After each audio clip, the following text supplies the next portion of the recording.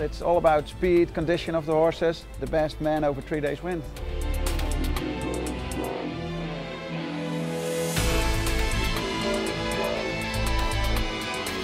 When we switch direction, that's where it gets complicated. You're at the mercy of the course builder.